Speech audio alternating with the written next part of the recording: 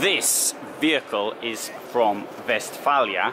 It is the Kepler 60 and as a VW uh, it does somewhat hark back to former times with this colour scheme, a colour scheme which incidentally has been used obviously by VW in their vehicles and Knaus did it as well in the Saint and Sinner. So this is a Westfalia and it only comes in this colour I believe.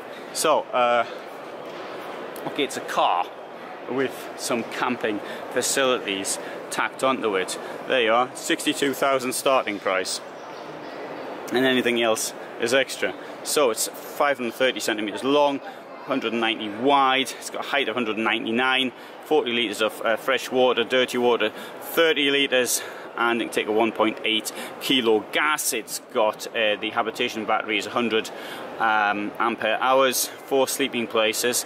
Although I don't, I wouldn't fancy being in there with three other people. Well, might two or three other people were, of course. And uh, you can have even six seats in there if you want also comes with cleaning facilities as you can see right so uh, but I mean it does look pretty good. It looks a bit retro. At the same time as being modern. Well that's my opinion.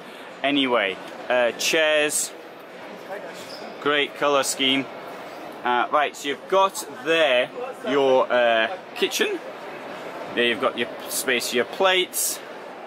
Let's have a look at this tint up here. This was just clean, I don't really like getting in, but anyway. Hopefully my shoes are clean. So I'll show you the uh, the kitchen actually. I was living in a VW T4 years ago. Well, mine was actually mine wasn't any longer than this. Though it looks about the same from here. Um, it would be, you know, this is this is this is all right for the weekend. This is all right for something, you know, you take to work, uh, wherever it is you're, you're working, and then you, you, use this for going out the weekends and things like that. That that makes sense, but you know, it is a bit tough without having proper washing facilities, and indeed without having um, a toilet. But you know, you most cars don't have washing facilities and toilets either. But mind you, for 61,000 euros, you can buy you can buy a proper motorhome, and that uh, is something uh, I ought to add. Let's have a look here. Oh, mind you, cars don't have fridges that size, do they?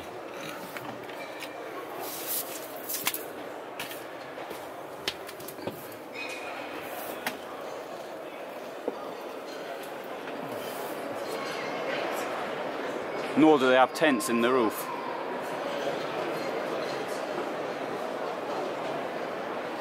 Well, it says here it calls it neo-retro design. I, I, hadn't read that, but that was the word I think I used as I was speaking. So the, the, the couch obviously forms a, a bed as well.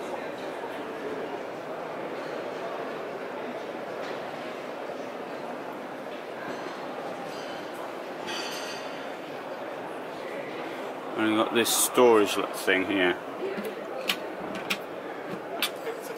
I can't open, so I'll I won't uh, mess around with it too much. You can buy these boxes sort of fit in the rails there and you've got they're held in by these uh, stopper things as you can see.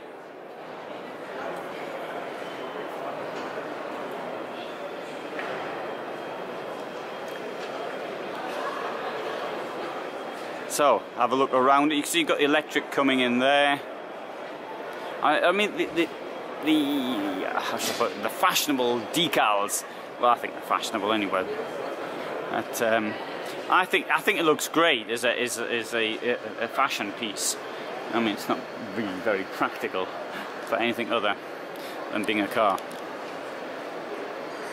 With with with sleeping facility added on to it.